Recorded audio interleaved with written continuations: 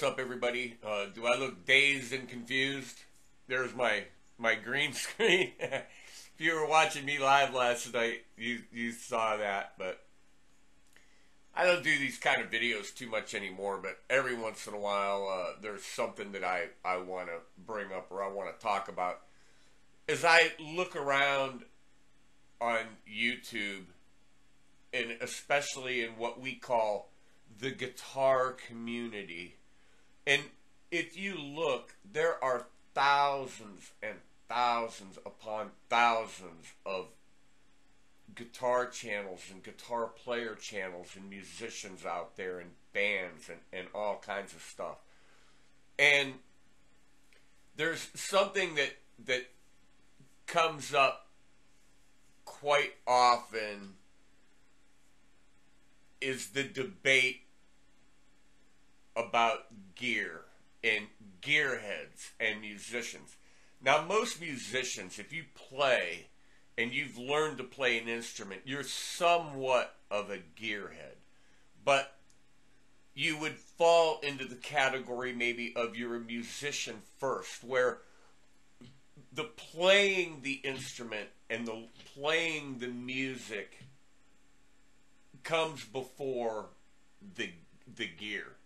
Like you'll you'll you'll get the gear that you need to get by with. You they don't go crazy. You won't go crazy. Then there's the other side where the guys that just they got to have tons and tons and tons of gear and they got to have the best gear and they got to have the most gear and they have to know everything about it and you know they're they're gearheads and then a lot of times they're not even really concerned that much with playing.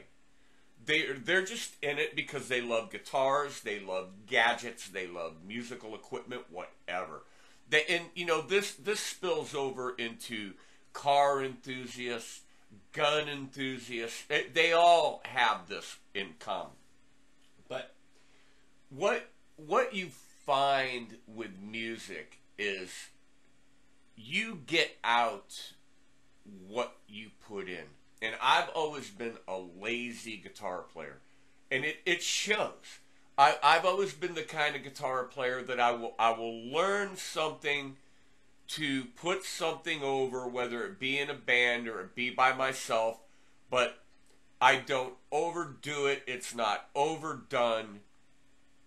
That's why I never became, you know, a great theory teacher or uh, even good at theory. I know some theory. I, I've and I've you know I've forgotten a lot, but you you end up playing at the level of what you have put into it over a period of time. Now, I'm 61 years old. I first started playing the guitar when I was around eight or nine, I started taking lessons at about 10 and took guitar lessons for a while. And then became self taught and taught by my friends and taught by my brother and taught by, you know, other people that I played in bands with that were just trading licks and, and learning what we knew. Now, we didn't have YouTube, we had books and recordings and television Television was almost useless, other than you might get to see a glimpse of your favorite musician or star occasionally on the TV. But you couldn't really learn anything from them. Books, magazines were probably the best visual that we had. We'd go buy music books, we'd buy song books, fake books, whatever uh, Guitar Player magazine, Guitar World magazine, things like Circus magazine, Creem magazine, stuff like that. Then, of course, there were recordings. That's where you heard the music, and that's where you dropped the needle on the track and tried to find out, you know, listen to what are they playing. That was how we ear trained. That was how we played. Now, uh, people on the internet that will take a lot of heat, like uh, Rick Beato. He, he takes a lot of heat because he gets really technical. He gets really deep into it, the thing is, he knows what the hell he's talking about. He's not making it up. He's not speaking from a place of what he doesn't know. Okay, he has the experience, he has the knowledge, he's he's studied, he's done the training, and a, a lot of times, you know, people, me included, will make fun of that because it's like, oh my God, I just I can't listen, you know, because it goes on and on and on and on. Truth of the matter is, the guy knows what he's talking about. Then you have the other side of people that they just they talk and they they buy gear and they have gear and they talk about gear and they'll get something and it's like I bought this came in the mail today and now they're a freaking expert and they're going to tell you what the deal is, how it is. And you know, sometimes it's almost laughable because even at, at my level of playing, I've been playing long enough that I know what's what. I know what I want. I know what I need. I know what's good. I know what's necessary. I also know what's not necessary. I know what's bad. I know what's overpriced. I know what hype is. So you get these these people speaking from a place of authority about something that they don't really have the authority to do.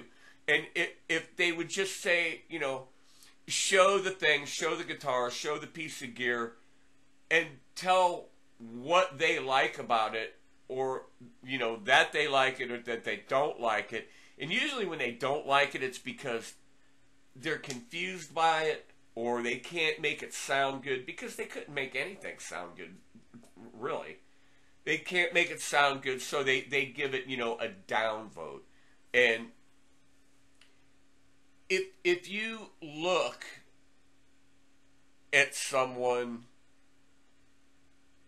you can usually pick their their level of playing up, you know, pretty quick, which is really irrelevant because I don't care at what level somebody plays as long as they're they're honest about it and honest about what they do. Now I had to make a jump cut edit because right here is where I, I forgot to mention that, that a lot of times this this kind of stuff, you know, to somebody who's been playing a long, long time and uh, has seen a lot of things come and go, some of this can actually be kind of insulting. And I'm not talking about guys like like Philip McKnight. Obviously, Philip is an expert on gear. He's an expert on guitars. He's been in the business. It's what he does. Again, uh, we're not talking about guys like Rick Beato, who is a pro in the business. He knows what he's doing. He knows what he's talking about. I'm not talking about guys like Glenn Fricker in the recording studio. He knows what he's doing. He knows what he's talking about. Whether you like it or not, these guys have the qualification to do what they're doing, to talk about what they're talking about. And I try to talk about what I'm qualified to do, and that's play classic rock, country, and oldies in a cover band. That's that's what I do, you know. Eh, so that I had to jump and put that in there and, and kind of make that clarification. Now I want to talk about something that is kind of this was a segue into this that one of the most inspiring and greatest guitar players, musicians, self taught musicians that I've ever had the privilege to be around and play with is my wife, Lynda Dana. She started playing the bass in her mid 50s. And with a little bit of help from me, and sometimes you know me getting frustrated with her and and you know uh, getting frustrated and, and just, you know, leaving her to her own ways, she found a way. And through her, her dedication to playing and her perseverance, she has become the most steady playing band member I've ever, ever in my life associated with. And that's not just because I'm married to her. Other people that have played with her will say the same thing. Uh, Fred, our drummer, I'm sure would agree to this. Jerry, our other guitar player, would agree to this. Former band members would agree to this. Uh, my brother, uh, and, and people that know her and people that she played with, admire her for what she has accomplished as a musician and what she's been able to do and I I would uh, implore you to look at her and look at her example and her amount of dedication. She plays the bass two to three hours every day and not going over these stupid songs that we play in this cover band. She'll be in her studio, I call it, her music room, playing along to you know I've heard her play Rush. She'll be playing along to the Allman Brothers. She'll play stuff that this band, our band, is never going to do because we're not capable of pu- pulling that off. But she's in there doing that, and she did this, taught herself. Uh, she's not a gearhead all she ever wanted was one guitar, and it was a Fender Precision bass in Sunburst with a tortoiseshell pickguard. I don't know why, but that was the guitar that she sought. That's the guitar that she got. That's the guitar that she plays. She's got her Aerodyne and a few other straggler basses laying around that she doesn't really care a flying f about. All it's that one guitar you know, her biggest concern in gear is a good cord, clean new strings. She uses elixirs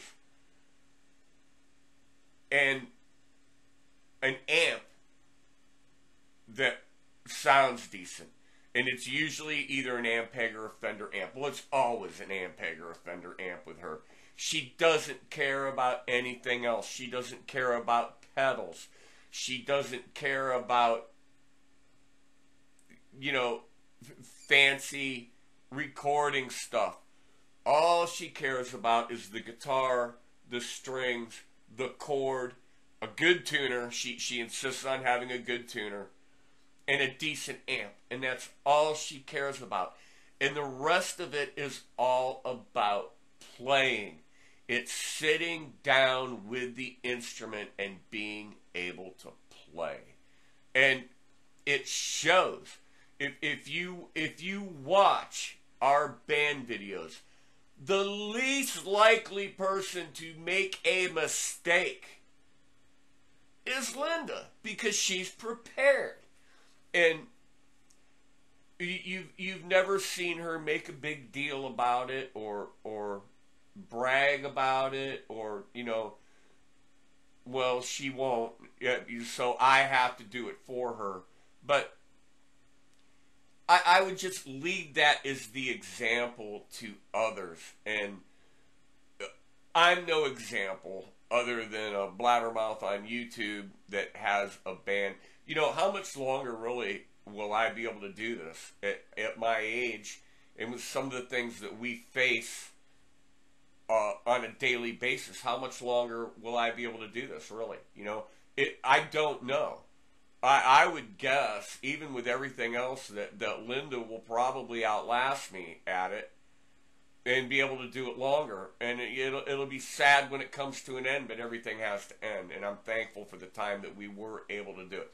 But but I would just suggest that on on YouTube or in public or whatever else you're doing, be honest about it. You know, I, I try to be as honest as I can about it. I don't play things I can't play. I don't claim to be able to play things I can't play, and I don't claim to know things I don't know.